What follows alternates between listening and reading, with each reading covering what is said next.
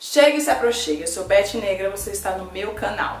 O assunto de hoje é o que fazer quando nosso amigo, quando gente, alguém que a gente ama está num relacionamento abusivo. Fique à vontade. Eu abri lá no, no Instagram um espaço para perguntas. Uma pergunta ficou indo e voltando, que é o que fazer quando nosso amigo está num relacionamento abusivo. O que, que você faz com um amigo na hora dessa? Qual, qual é a melhor atitude? O que você deve fazer quando o seu amigo está num relacionamento abusivo? Então. E aí eu parei para refletir sobre isso.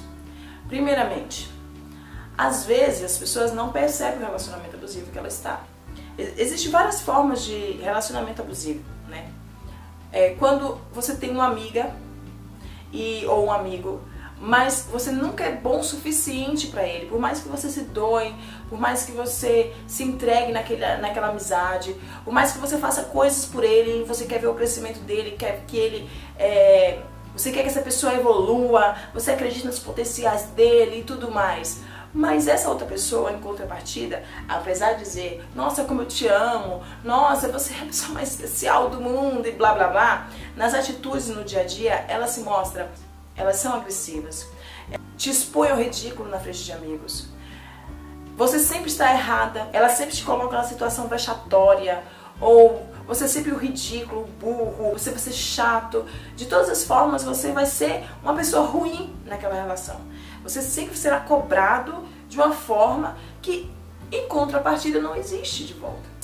E quando você começa a notar esse, esses essa atitude, quando você começa a notar que você está sendo sugado, você não sabia que eu era assim, eu não sei por que eu fiz aquilo, e aí começa, o jogo começa a, rever, a, a, se inverter. Ele começa a se colocar como vítima, como coitadinho, que não sabe por que fez aquilo, e no final das contas, você vai ficar naquela relação. Você vai continuar mantendo aquela amizade, porque você fica com pena ou porque você acha que é verdade. E aí não passa quatro dias, a pessoa faz tudo de novo. Porque na real, ela já sabe como pegar o seu coração. Ela já sabe que se colocar a família no meio vai dar certo. Ela sabe que se chorar mais um pouquinho vai dar certo, porque você tem algo, porque você tem coração, porque você estava entregando aquela relação. Mas o outro não. Você vai tentar dar um ponto, você vai tentar parar e aquilo vai continuar com bola de neve. A menos que de fato real a pessoa mude, o que é uma coisa muito difícil acontecer. Isso é uma amizade. Agora vamos nos relacionamentos é, entre casais. Ah, então, entre casais as coisas são, se apresentam de várias formas, né? Ah, tem aquele amigo que você vê que ela, que ela tá no relacionamento abusivo porque ele é agressivo, porque ela, ele bate, porque ele chama ela de vários nomes é, que agride verbalmente e fisicamente, você nota, claro, evidentemente, isso é um relacionamento extremamente abusivo, uma coisa absurda, e você quer tirar seu amigo ou sua amiga daquela relação. E isso também se dá para homens. Porém, né? Isso também se dá para homens, nas relações homoafetivas e tudo mais. Porém, o caso se agrava muito pro lado das mulheres. Geralmente, na grande maioria, são as mulheres que passam mais por isso como as vítimas das situações. Tem aquele relacionamento também, que também é abusivo, mas da seguinte forma. Ele se mostra muito bom pra pessoa. Nossa, ele é um amor. Meu Deus, ele cuida dela. Ele trata com, com muito carinho. Ele busca no trabalho, ele leva do trabalho. Ele está sempre envolvido com ela, mas só com ela. Os amigos dela não têm envolvimento, a família dela não tem envolvimento, é só com ela. Só que por trás ele está explorando, ele está é, separando a pessoa dos amigos, da família.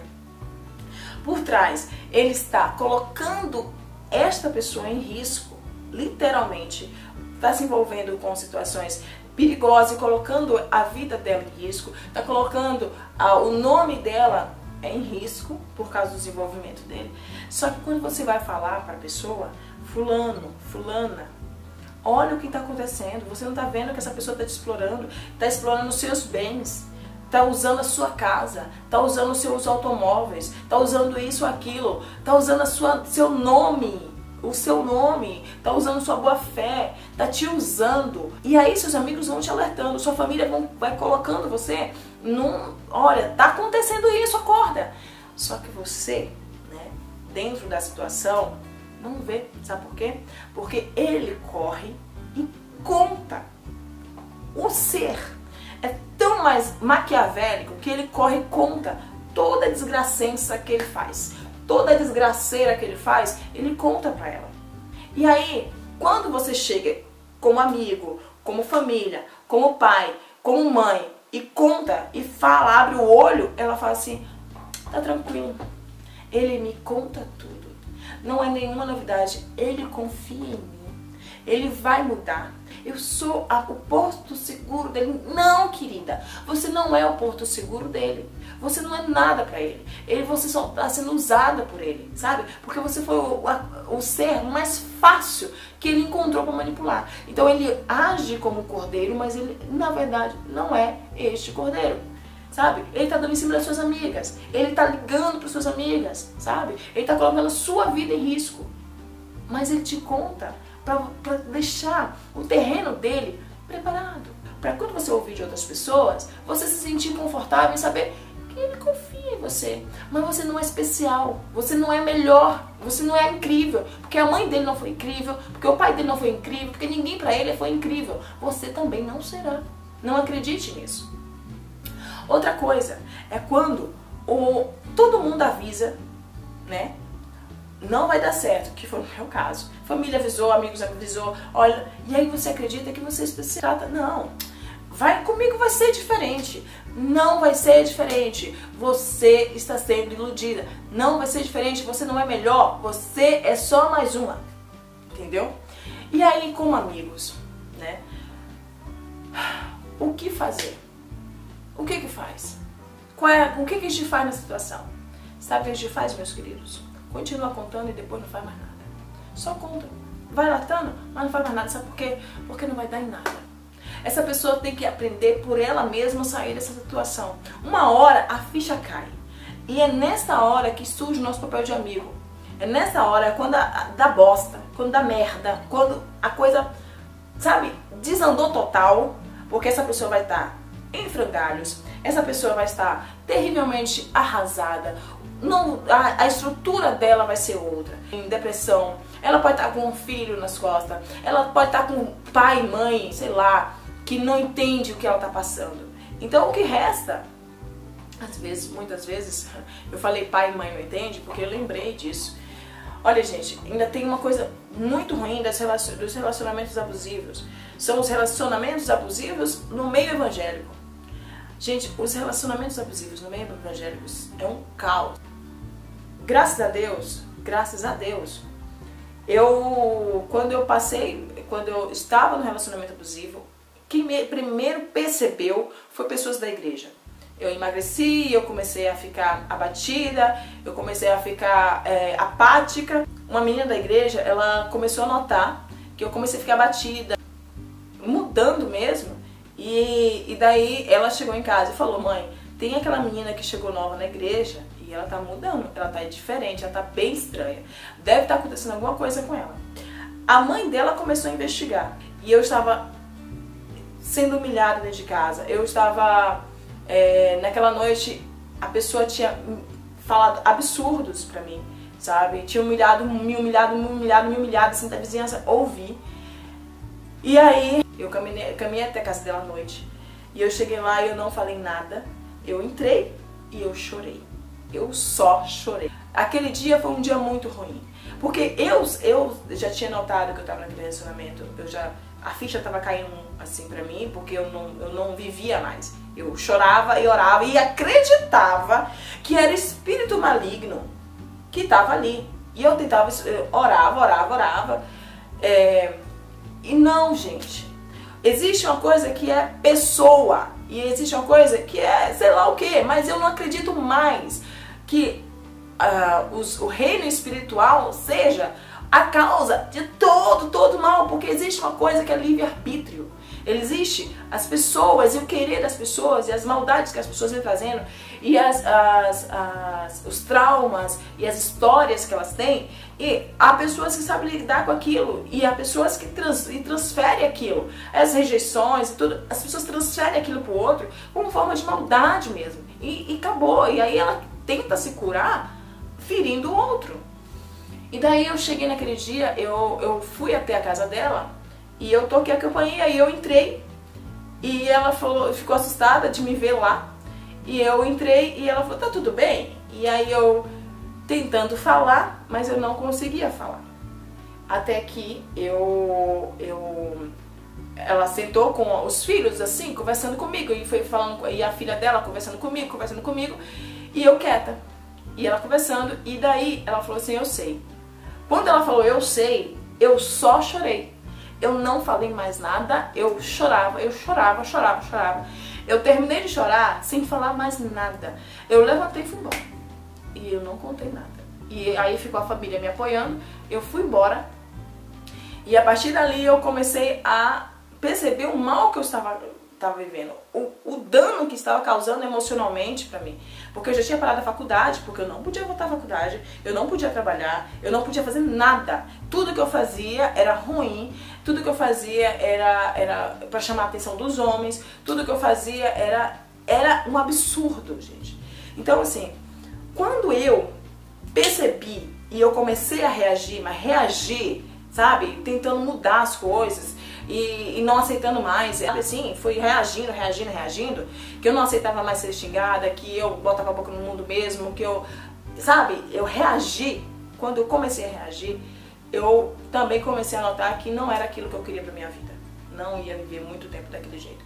Então eu tinha determinado que eu ia fazer isso. Só que eu tava com medo de contar para os meus pais porque eles falaram para eu não fazer isso. Eu tava com medo de contar para os meus amigos porque eles falaram para eu não fazer isso. Eu tava com medo de contar para minha família porque eles falaram que isso ia acontecer. E eu tava com medo deles falarem assim, não, mas agora que você casou, a mulher sabe, edifica a sua casa. Agora você não pode voltar atrás. Ah, porque a palavra de Deus diz isso e aquilo. Quando eu, então, decidi que eu iria é, tomar uma atitude, eu já tinha o apoio da igreja. A, a minha pastora, ela, ela a igreja onde eu frequentava era a igreja onde as pastoras eram a liderança. Então, quando eu cheguei para minha pastora e disse, ela falou assim: "Não, filha, você não vive um casamento". E aí eu tomei coragem de contar para o meu tio. Eu, tio. eu tenho um tio em São Paulo. E eu tive coragem de ligar e falar: "Tio, então, tá acontecendo umas coisas e eu preciso te contar". E eu comecei a contar para ele e ele, a minha família é toda evangélica, é, pastores e tudo mais. E eu resolvi contar pra ele e contei pra uma tia também, que é pastora. E eles imediatamente falaram assim, filha, a hora que você decidir, a gente tá aqui pra te apoiar. Você não precisa continuar. Você não é obrigada a isso. E aí ele foi me mostrar com base bíblica também que eu podia tomar qualquer atitude, porque eu era livre para isso. E daí eu comecei a acordar. Daí eu, eu fui entender que eu não precisava passar por aquilo.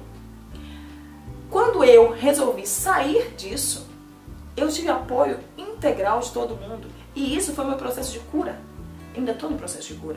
Mas é, foi parte do meu processo de cura. Eu tive amigos que me ligavam para esperar dormir. Eu tenho um amigo na Bahia é, que foi importante para mim. Eu nunca vou esquecer isso. Eu tenho um amigo que ele.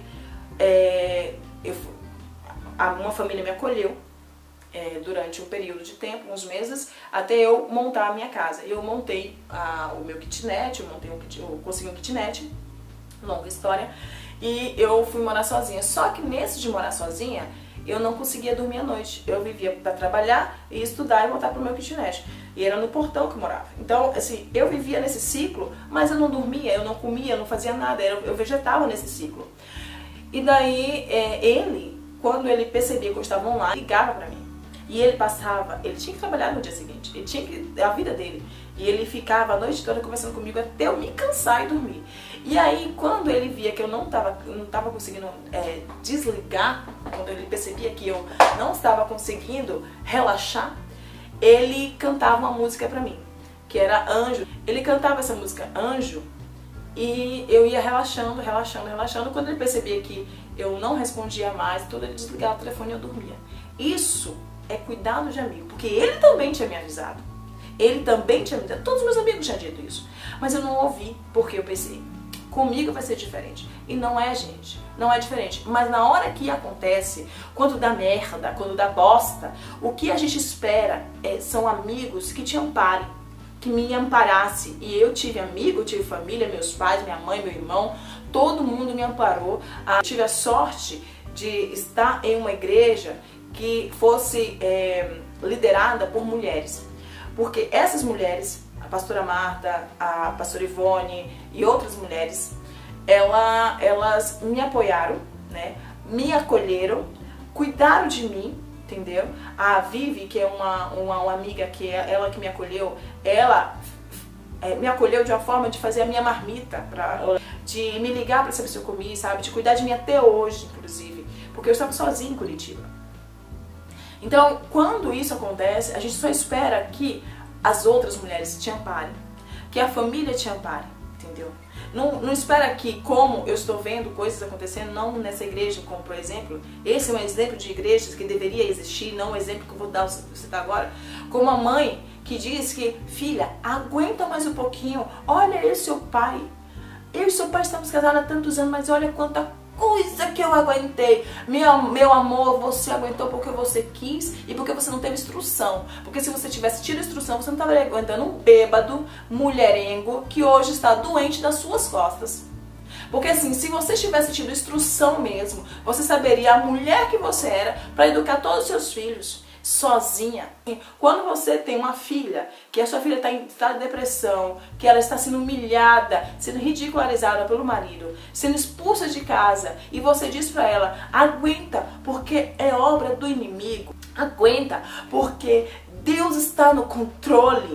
Aguenta, porque a mulher sabe edificar a casa, você está destruindo a sua filha, você está destruindo a sua amiga, entendeu? Porque quando de, da palavra de Deus diz, é, diz que é para as, as mulheres respeitarem seus maridos, serem submissas, também diz que ele tem que dar sua vida por ela, como Cristo amou a igreja. E como é que você acha que é Cristo em relação a este homem? Você vê Cristo neste homem e você quer que ela seja a igreja para ele? Ah, por favor, cuide da sua filha, cuide da sua neta, cuide da sua, da sua amiga, mas não deixe isso acontecer. Você está vendo sua filha se destruindo, você está vendo sua neta se destruindo e você quer que ela suporte porque você suportou, você suportou porque você não teve instrução. Ela pode ter faculdade, ela pode trabalhar, gente, ela não precisa disso, ela não precisa. Agora está destruindo o próprio corpo porque está com saúde fragilizada e você acha que isso é obra de Deus? A coisa mais certa de, um, de uma pessoa que está fora de um relacionamento abusivo fazer é cuidar de quem você ama, porque a pessoa vai sair desse relacionamento um caco, uma bosta, e só vai precisar de você para apoiar, porque dizer que, poxa, mas você deveria ter aguentado mais. Olha a mãe, a mãe viveu 26 anos com seu pai. Hoje ele, está, ele não está transformado, ele não foi transformado. Ele está cansado de tipo pegar a mulher na rua, ele está cansado de te bater, ele está cansado porque ele está com a saúde fragilizada, ele não tem mais o vigor físico para poder ficar de, de boteco em boteco, ele não tem mais o vigor físico para ficar de prostíbulo, entendeu? Por isso, minha senhora, que ele está hoje transformado dentro da sua casa. Não que ele se transformou, ele não tem mais vigor. E você tonta e você pensando que ele está transformado, tá aí cuidando dele, porque ele precisa de alguém para cuidar dele na velhice, entendeu? Ele só está velho. Se ele tivesse agora a oportunidade de ter 20 anos a menos, certeza que você não estaria em casa agora cuidando dele. Ele estaria com certeza em um baita de um brega.